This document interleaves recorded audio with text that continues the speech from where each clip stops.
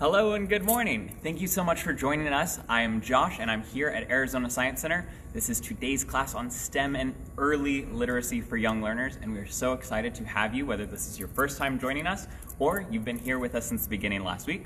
Uh, and also, thank you so much for staying at home and practicing safe social distancing to help us flatten the curve. We really appreciate you. So, today, I wanted to try something a little bit different because I am not originally from Arizona, and the more I am living in the desert and the longer I'm spending here in the desert, the more beautiful I am realizing this place is.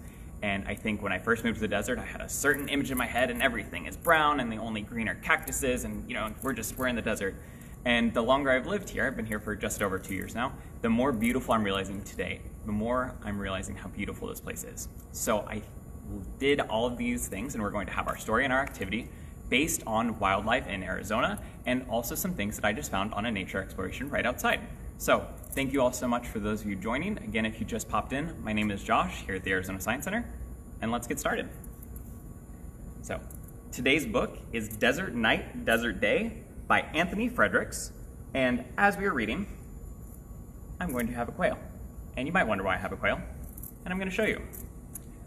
What's fun about this story, Desert Night, Desert Day, is that on every single page of the story, there's going to be a quail. Sometimes it's going to be the focus and right up front. Other times, he's going to be smaller and more hidden. So let us know every time we turn a mm-hmm. page. Hopefully you're going to be able to help me find the quail. Sometimes my skills of observation, sometimes I'm very good at observing things and noticing details. Sometimes I'm not. But that's okay because that's a skill I'm still working on. So we found our quail on this page and let's get started. Sonoran night, dancing light, shadows playing, full moon bright. And as we turn this page, look and see if you can find the quail while I'm reading or before I do. Above the ground, high pitched sound, tiny owls, fluffy and round. So we can see our owls flying by. We've got one, two, three owls flying by. Hmm, but can we find the quail? Does anyone see it? It's a little bit more hidden on this page. If you notice, he's at the base of the cactus pretty tiny, so sometimes he's easy to find and sometimes he's not. Bristly hair, tusks beware, javelinas eat prickly pear, right? So we have one, two, three javelinas eating our delicious prickly pear. Well, delicious for javelinas. You might have to let us know in the comments whether you think prickly pears would be delicious for humans. And we have our owl, but hmm, where could our quail be? Hmm, this is pretty tricky. Has anyone found him yet? If you can find our quail, let us know in the comments below. So I'm looking, I'm not seeing him over here, but I think way off in the distance, we've got our friend the quail in the background. Ooh, stingers lash, whip and dash, scorpions grab in a flash.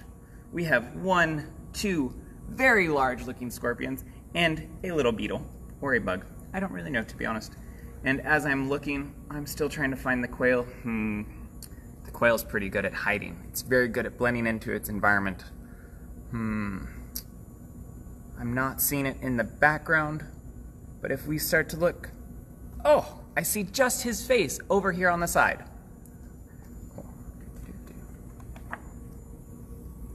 Nuzzling nose, sleep and doze. Young fox rests, quickly grows, right? And here are young foxes resting their tired little eyes. And there is our scorpion from the previous page. I'm looking and I don't.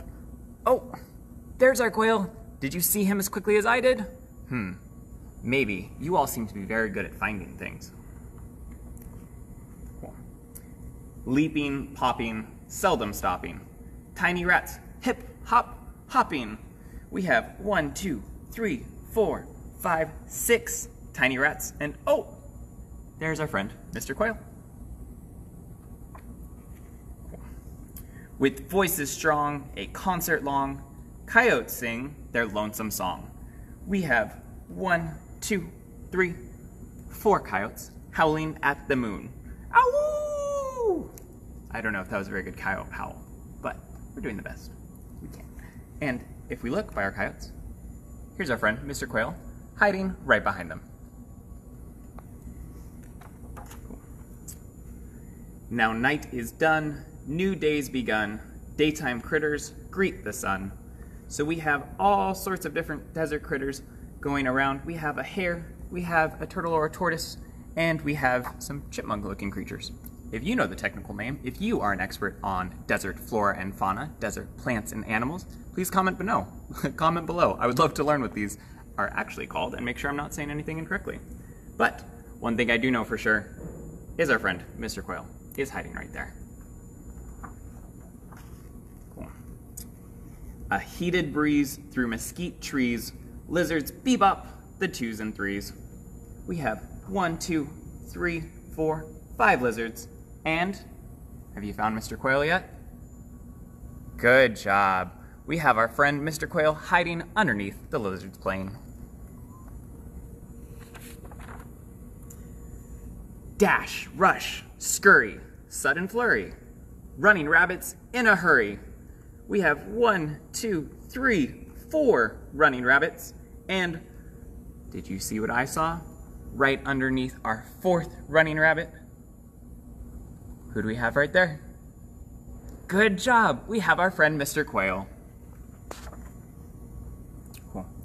Ooh, slipping, sliding, watching, gliding banded king snake darting, hiding. We have one slithering king snake who is very large and takes up both pages. Hmm. This is a bit tricky. Can you find Mr. Quail? Hmm. I'm looking. I don't see Mr. Quail on this page. And as I look over, I don't see Mr. Quail. But what do we have right here? We may not have Mr. Quail, but what do we have? We have his shadow. That's right. Good job, everyone. He's probably hiding from the king snake. I would be too. Cool. Landscape sweeping, old beast peeping, desert tortoise slowly creeping. Right? So here we have our desert tortoise, and as we are looking for Mr. Quail, hmm, I don't see his shadow anywhere. I also don't see his face. Do you maybe see a part of him somewhere? Hmm, this is getting tricky. Mr. Quail's getting good at hiding. But that's right. If we look up here, we can see the lower half of his body. Good job, everyone. You all are great at making observations. Cool. Regal head, tails of red, hawks are soaring overhead. We have one, two, three hawks soaring overhead. And if we look way in the distance, we have our friend the desert tortoise from the last page. But hmm, where is our friend Mr. Quail?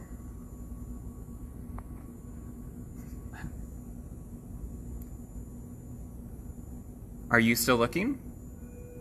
I am. I actually can't find Mr. Quail on this page. Oh. Very good. He's off in the distance. That one was tricky, huh? Through the day, in jeweled array, butterflies dance and play. We have one, two, three, four, five, six, seven, eight butterflies dancing and playing. And this time, nice and easy to find, we have Mr. Quail up front. He's probably dancing and playing along with the butterflies. Sun, moon high, a desert sky, busy creatures crawl, run, fly. And if we look, we have all of our desert friends that we've met throughout the story, including our friend Mr. Quail. That was it for today's story. Again, that was Desert Night, Desert Day by Anthony Fredericks. Thank you all so much. I hope you enjoyed the story and looking for Mr. Quail as much as I can. Are you all ready for today's activity? Cool. Let's do it. Cool. So, Again, as I mentioned, for those of you who are just joining us, my name is Josh, and I'm here at Arizona Science Center, and I have a bunch of fun things for us to make observations about as we do a little desert exploration of our own. So, these are some things that my really gracious roommate, who is from Arizona and has lived here longer than I did, went out and collected at Papago Park, I believe, or maybe hiking. I don't actually know where she got them. But these are some different mesquite pods, I believe. Again, if you are an expert on desert plants and animals, please let us know. I will say what I know, and I'm more than happy to say what I don't know. But these, I believe, are different types of mesquite pods. We have a pine cone, And we have some other samples in these viewers, where if we look, this is skin from a rattlesnake that we've collected here at the Arizona Science Center. And this is an actual quail feather.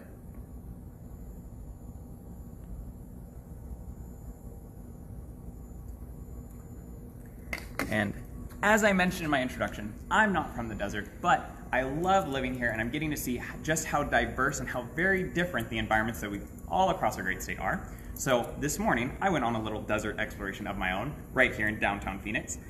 But as you can guess, a lot of the plants that I found right outside are beautiful, but may or may not be uh, native to the desert. So some of the things I found on my walk right outside of Arizona Science Center, I found some different leaves. If you know what this is, it said it was a rubber fig online, but sometimes that's deceitful, so this could be a rubber tree, this could be a fig tree. If you know, please tell me. I'm genuinely very curious, and I haven't been able to find out for a fact. Please let us know in the comments below. And I was really excited because if you look at this leaf, this leaf is literally the size of my face, and I think that's awesome.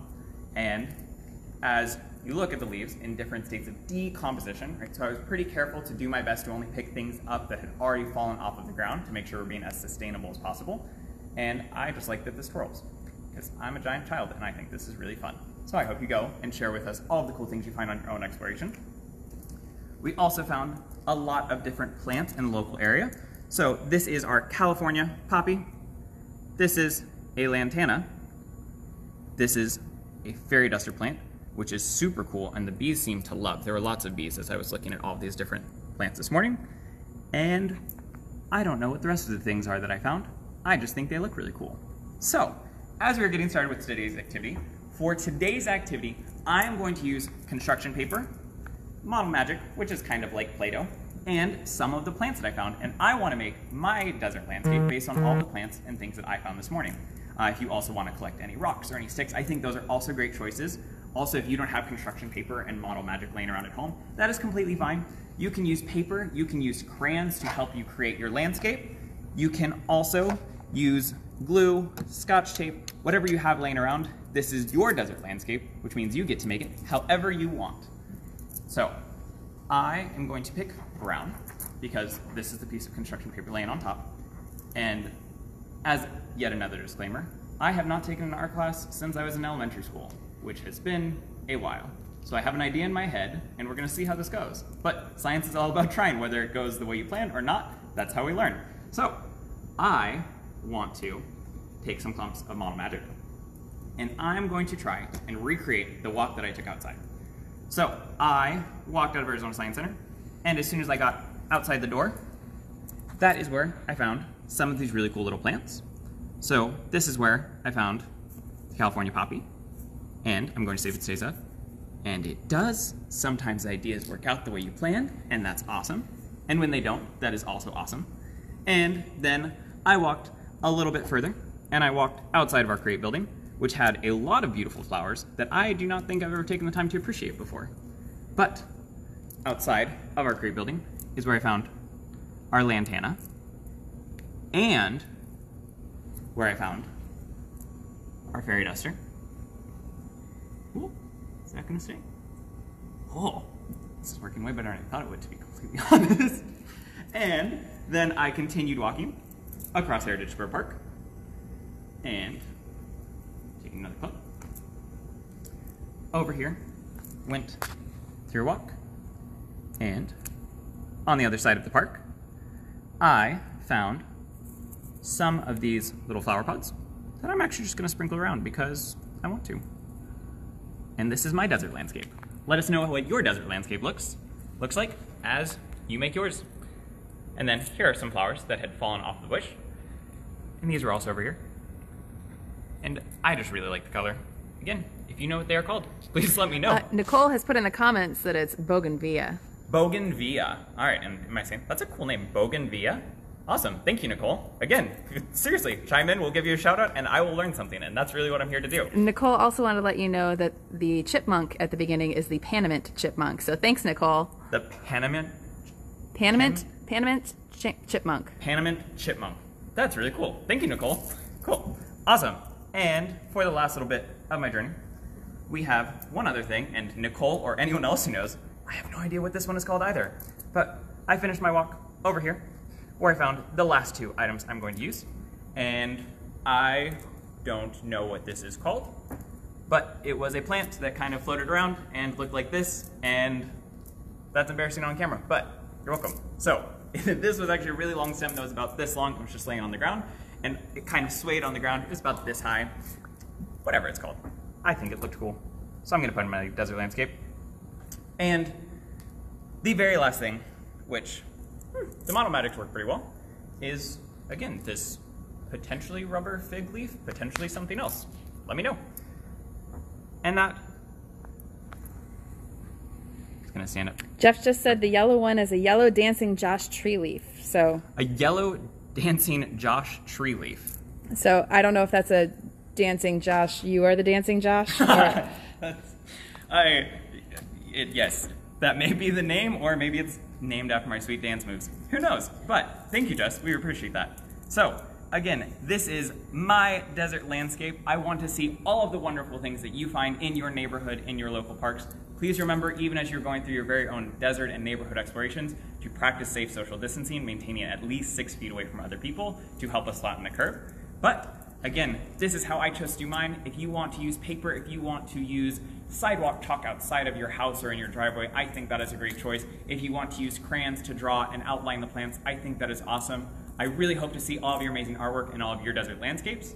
Again, my name is Josh here at Arizona Science Center. Please join us every day, um, every day, Monday through Saturday at 9.30 a.m. for STEM and early literacy, as well as our 1 p.m. live demos. Thank you all so much, and and I know, say it again. join us online at AZ And join us online at azscience.org. You all have been awesome. Thank you so much for sharing all of your expertise with desert plants and animals. Until next time.